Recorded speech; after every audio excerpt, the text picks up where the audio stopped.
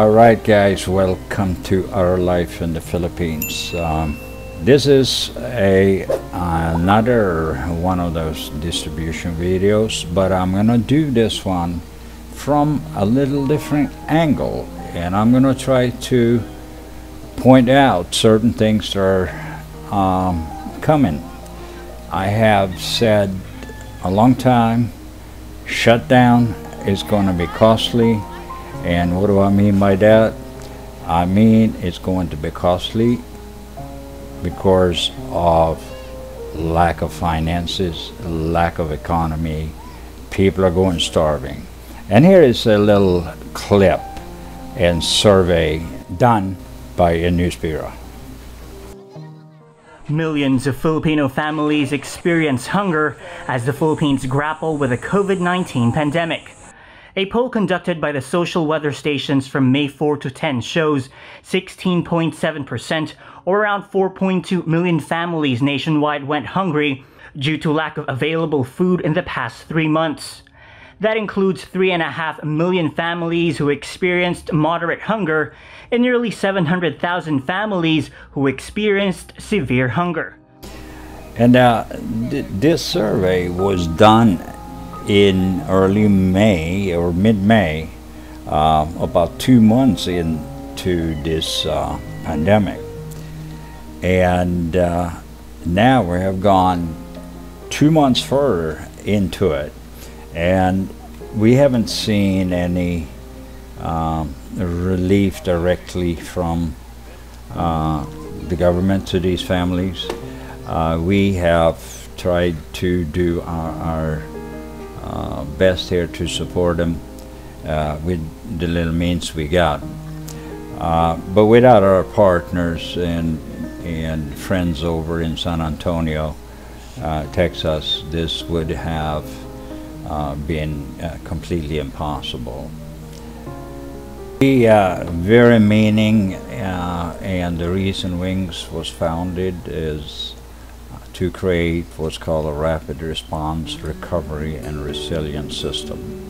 And their slogan is taking catastrophe response to the next level and beyond to uh, save more lives. All right, let's take a few minutes here and uh, just listen in to uh, the team, our Filipino workers and Umberto as they're out on the street. Eleonor Patio Eleanor Pacho.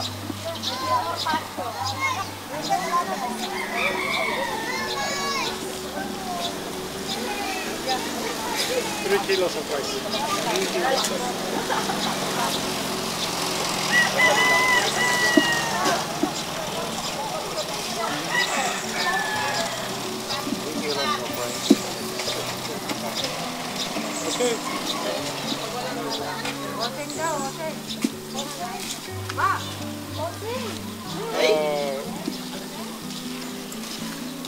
Kilos of rice and one Alaska milk. Thank you.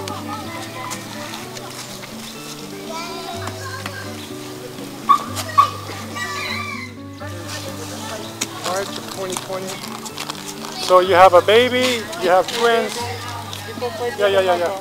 So okay, so you get two for the twins, three kilos of rice, and one uh, for the baby, zero six. To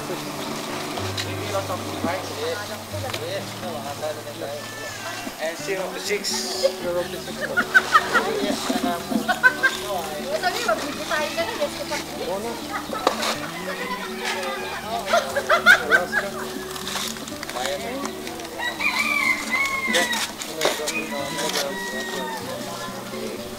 So the other day, um, when I got home, I had to go out and run some errands and go to the bank and do a few other things. And when I come home, um, I find at least 50 people outside my door asking for a little bit of rice to eat.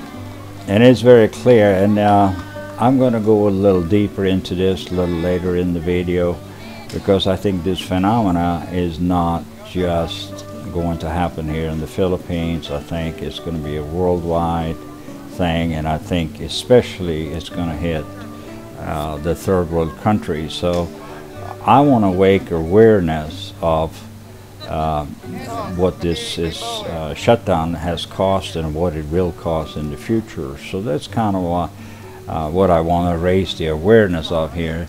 And uh, um, Wings is also on the path of trying to resolve some of these issues. This is a little bit how we do it. Um, the team is going out today with another uh, round of applications actually. And uh, Right here. there we got them, quite a few. So that has to go out today. And Monumental task, but once it's done, it's easy to do because we already have the approval for what they get and what they're gonna be repeating every time. And then you're like, all we have to do is check the date, right, you get it, that's it. right, No ifs, ands, or buts about it. We have their address, we know how many people live in the family. No, right. no, coming to get some application. Yeah. Because we're going to, We're going to street by street. to get some Well, application. the- Right. we're gonna, we're gonna go first to the people that already get milk from us. Right. So we're going to Yellow Bill and we're going to. Floor release. Yeah, that's, uh, And then, and the then we'll see, because, uh, after doing those, I don't think we have resources enough. so Well, to no, as, as, as far as that goes, um, we have, how much do we got left? One, two, three, four, five, six, that's one eighty. Uh, roughly two hundred, so we got about hundred out yesterday then, right? Hundred milk, uh, and there was about, what, sixty families, roughly? Roughly 60, 65 families that was completed yesterday, um, with a little bit of rice and a little bit of other things. So basically what they are doing here, they are uh, making one kilo bags, two kilo bags, and um, uh, deciding uh, whether they are four people or less or four people or more, they get, they get a little bit more, you know, when you have 10 people in a family, two kilo of rice is less than a day. Uh, the big influence is that they have elderly, we give them a little bit more. Right, yeah, for the seniors, yeah. All right, this is a daunting task, guys, but it is, um, it is um, inspiring at the same time, right? Yes, very much so. It's rewarding. You should see some of these people, their faces when you're helping them out. I've seen people teary up. I've seen people they are they don't even say thank you. They're just like Crying. you know they're they're Teary eyes. They're teary eyed, and it, it is it is a sad situation, not just here but around the world. But in places like this, they're suffering very much more because they have no job, no possibility of job, and no help really. Right. And the, the, the, the, the people that do get help, they don't get enough. I know, it's, it's, it's a crazy, it's a crazy situation for sure. So we're, we're gonna try to, try to at least reduce a little bit of the suffering as far as food, food and nutrients goes. We do what we can and, uh, since I'm so old, I can't go out, but I'm, I'm here anyway. I am uh, glad you are because without your help, Kjell, I hope people realize that without the effort of people of the third age, a lot of these things would never happen. Because Right, well, we're the yeah. ones that we are the ones that know how to put things together and and know how to make things happen. And without the assistance of people that have that capability, uh, you know, the Facebook isn't going to solve the, the famine. Right, that's true. You know what I mean? Yeah, My hat's off to you. Facebook, Facebook is good for, for uh, certain purposes. Uh, Back home, I know Mike is um, driving the efforts uh, Yes, to some degree. I know. But I'm saying here is like, the young people are all on this and, and, you know, they're, you know, they're, they're stuck on Facebook, they're communicating, they're social communication, But it's in, not, nothing personal and nothing interpersonal and to be able to actually, you know, yes, it's a great opportunity. It's a great platform to raise funds, to raise awareness, to do all these things. But you got to be physical. You got to be actually in the material. Yeah, you- you gotta be be able to get- hands-on, You got to eh? be hands-on to get. If you're not hands-on, it's not working. It's not going to happen. Yeah. You know, you can That's talk true, about huh? it all you want, but hands-on is going to solve it. We happy. We, we're so very happy to do this. For all the people alright. here. Yeah. Mark, Edwin, we are actually, we are actually waiting for uh, Pa- Paco to show up at some point today. He's going to assist them with, with the uh, Distribution of. distribution of form, forms and other things. All right, there was a little bit about what's going on with our team and our helpers, and I will get into that a little bit more. You wear your face mask. How many? How many times?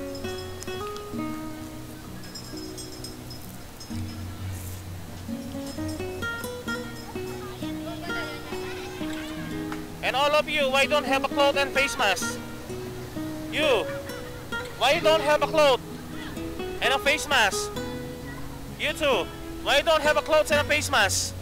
You wear your clothes and the face mask. And your baby, you wear your face mask. The child. Mark is is out here, and I just wanted you to uh, see this little snippet. Uh, it might sound rough to them, but uh, that's one thing here that uh, people have a hard time to follow. Their children are out in the street, even though uh, the rules are they shouldn't really be out.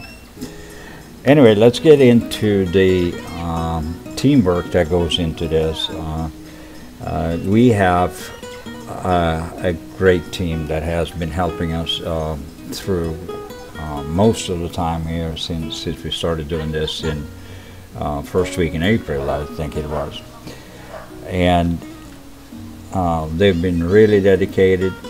They uh, uh, never fails. You let them know we have material has arrived. You can take it and you can bring it out. They take it and they go and bring out.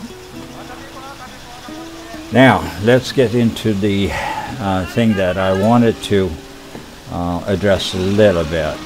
Economic shutdown will create a huge, huge starvation a few months from now. UNICEF um, had a prognosis that uh, they expect that possibly as many as 350 to 400 million um, uh, people will go into severe starvation. And uh, we know that there is countries uh, like uh, Yemen and, and other countries that they had a hard time really before this uh, started. And the numbers um, that I follow for that particular country is not looking very, very uh, promising. There is millions. Now, we can all uh, join hands and uh, do our best to to uh, do this, but uh, it's a daunting task. Requires tons of of uh, funding, and we know that UNICEF is doing a lot of work, and other organizations. Uh, but we, Wings, and us here in the Philippines, and the team we have together, we are going to do our absolute best to at least make sure that some people get one or two meals to eat on a daily basis. Um, we're also going to try to do some education, let people understand that um, it's important to drink water, some vitamins, and some other things that is going to come as well.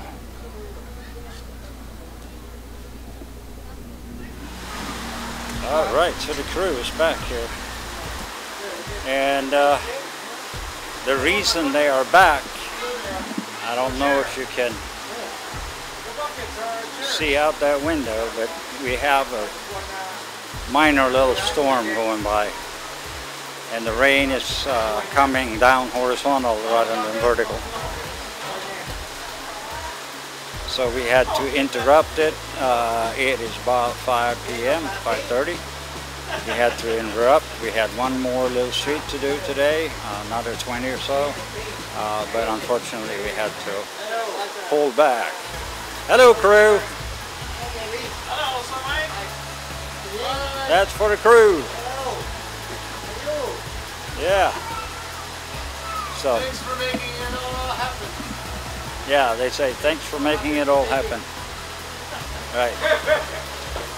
We have former chairman here, and Mark, Edwin, Umberto. They're all back. So, waiting for the storm to get over, I guess. And then they are uh, they're doing their uh, packing therapy here. Uh, packing two kilo bags of rice. And that's what they do. While we wait for this rain to get over, if it does get over, we might get out again, and if it doesn't, we continue in the morning.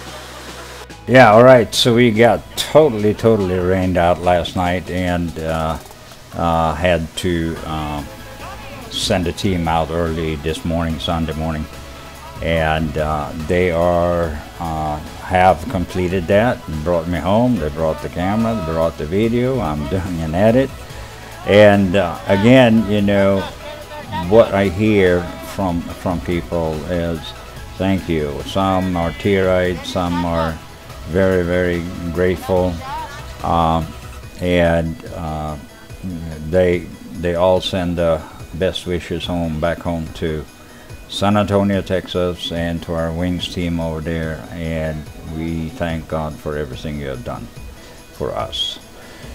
All right, guys, that was a short little video uh, um, around what's going on, what's happening, and stay tuned for some more videos. And uh, we will definitely, definitely uh, put out some more videos. And again, thank you, Wings CRS, and God bless.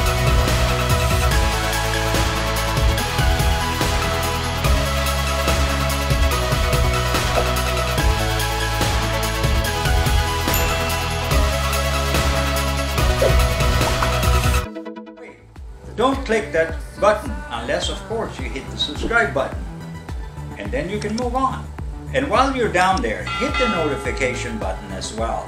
And if you leave a like or a comment, we will personally respond to you on all or any request you might have. And thank you for watching, and we'll see you again at the next video.